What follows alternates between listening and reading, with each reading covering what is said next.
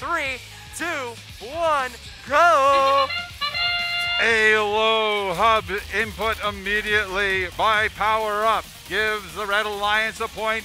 Many other cargo go firing in, and it's 10 to 6 in favor of the Red Alliance, who, with a win, will stay in as we begin teleoperated mode. It's 14 to 10 in favor of the Blue Alliance.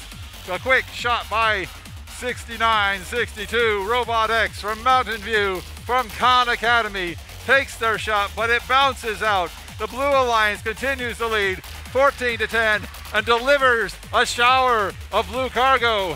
Three shots, two of which go in, and the Blue Alliance leads 16 to 11. We see 69-62 Robot X score again. It's 18 to 11 Blue Alliance.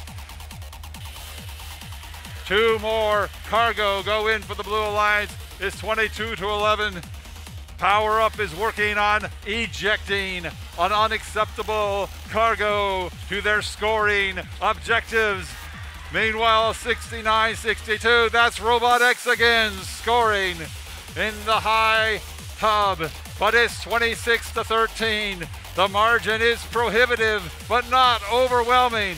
This match is still in doubt as two blue cargo score, pushing the margin higher.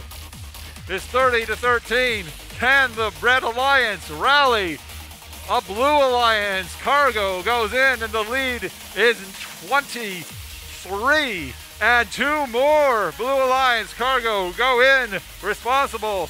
MSET Fish, or is it their defense? The robots are scurrying around. The Red Alliance is working to climb, mostly. MSET Fish fires two, scoring one, extending the lead. The Red Alliance is working for getting success from their climb. 75-65 has reached the traversal. Robot X has reached the high goal and is going for traversal as well. There's six seconds left. The Blue Alliance has two robots up.